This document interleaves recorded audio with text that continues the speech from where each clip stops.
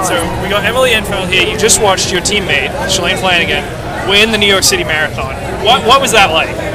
I I mean I'm still kind of speechless. I'm in awe. I'm just so excited and happy uh, for her.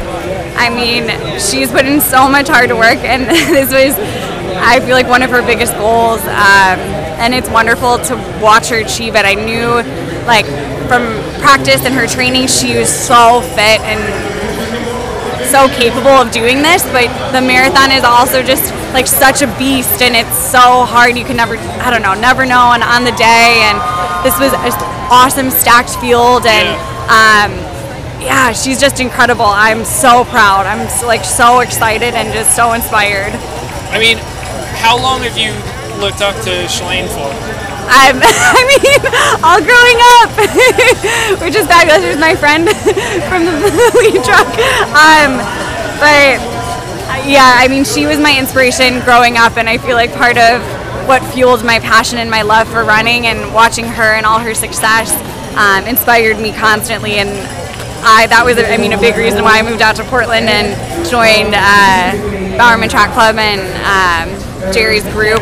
When I had the opportunity, I was like, how can I turn that down? Like, Shalane has been my idol forever, and um, she's, I mean, beyond that, she's just an amazing, awesome person.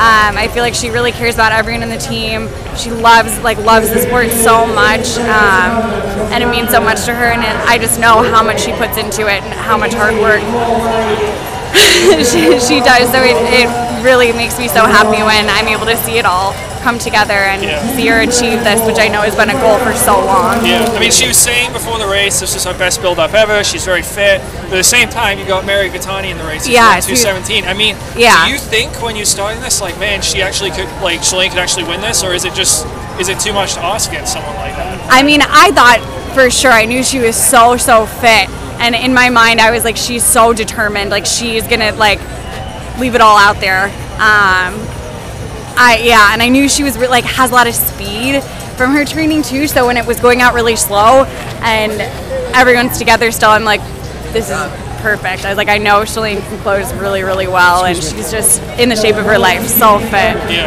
Was, Um, was there a moment when you thought she was, you're like, wow, she could actually win this, or she's going to win this? I I mean I think I was like hundred percent positive at maybe mile twenty two or twenty three. I was like, she's she has it in the bag. was that when like, she I was, still like, with Keitany though? she was like starting to gap her a little bit, but Yeah. it's so hard. Like I was just, I think she looked so just like made a decisive, assertive move, and I just, I was like, she has it. Like I was texting Amy, um, Cragg, and we both said the same thing. She's like, Shalane's gonna win. I'm like, yeah, like hands down, she's winning right now. Like we knew it. I don't know. Where were you watching from? Uh, I was on the lead vehicle. Oh, okay. Which was so fabulous. So I got to watch the whole race. So I was there and I was like screaming.